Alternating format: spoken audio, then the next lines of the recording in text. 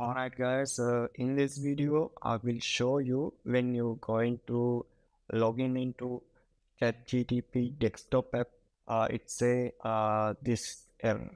So in this video I will show you how to bypass this step and uh, how to use ChatGTP 4 4.0 and uh, how to use voice assistant on your Mac devices.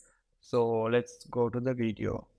Alright guys, so if you don't have a ChatGTP desktop app, so you have to download it and uh, install it. So uh, uh, let me quickly show how to download uh, the application and uh, install it.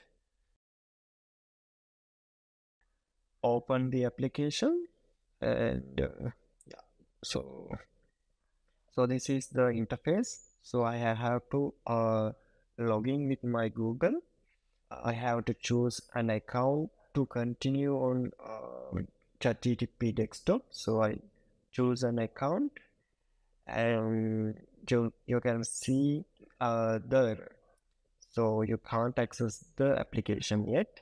So don't worry guys, I will teach you how to bypass this step. So, so guys, uh, so we really need only two buttons. So first one is command and Q.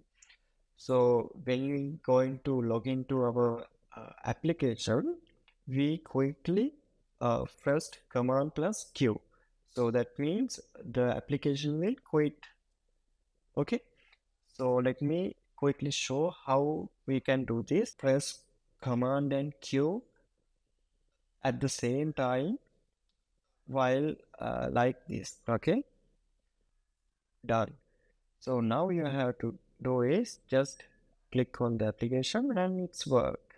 Now you can say you can chat with it and and uh, yeah.